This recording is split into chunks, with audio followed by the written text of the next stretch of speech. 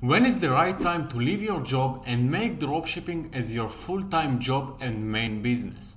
This is what will be discussed in this video.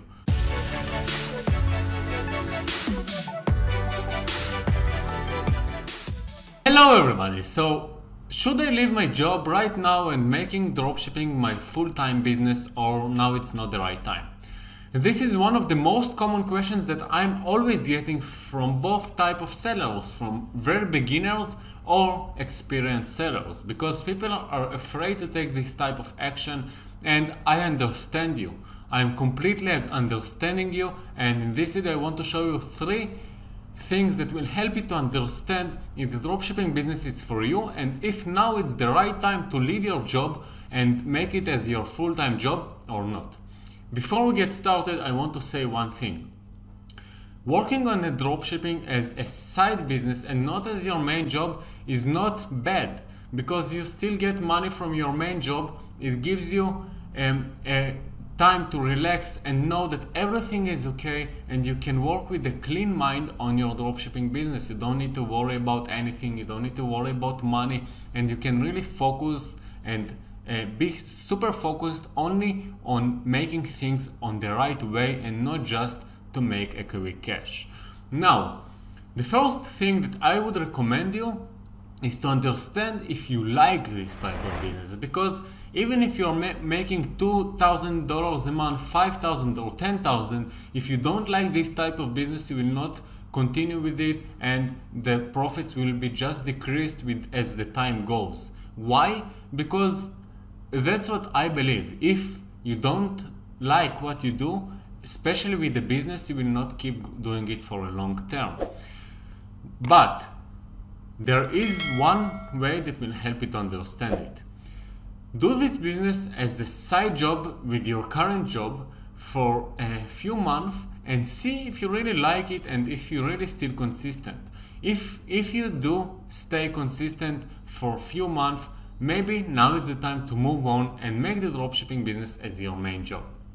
Remember, if you have more time, mainly you will grow it even more. And also, mainly, uh, in most of the cases, you will also become and love this business even more than what you like right now because you will have time to spend on learning more, on research things, and in grow to different directions in the dropshipping business or even other e-commerce businesses. The second tip here is that the dropshipping business should be already stable enough for you to make for you enough money for living. I don't want you to leave your job and in two months see that until today you made like $5,000 a month and now with your business you're doing 4,000 and it's not enough for you for living. So make sure that one of the two things happens. First, you have enough money that you saved. Second, if you don't have so that you're really sure that this business brings you enough money right now to keep living at the same level that you uh, used until today. The third thing here, and this is the tip number three that I really, really recommend you to do. Make sure that you have a very clear plan and strategy for the long term, at least half year, I prefer even one year, about how you will spend your new time that you got without the extra job on your dropshipping business. Because understand it, you're not leaving your job just because you want more time for your life. You're leaving your job because you want, firstly, I'm not talking about few years from now, but firstly, you want to spend more time on your business to grow it more and succeed more. Also remember, when you leave your job, all your focus will be only in this business and the results will be much uh, better. But you need to have a strategy and a plan.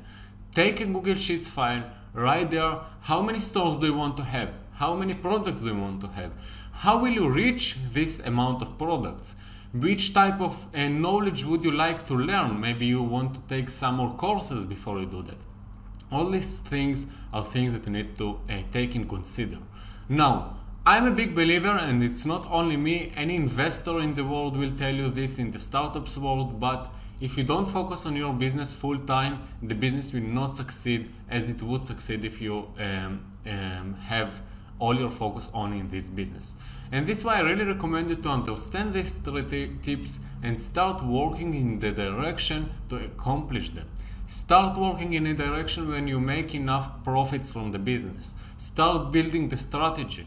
Start to understand if you love this business or not and if not you always can to you always can move and transfer part of the tasks that you don't like to do to other people to virtual assistant to employ or someone else that will help you with that.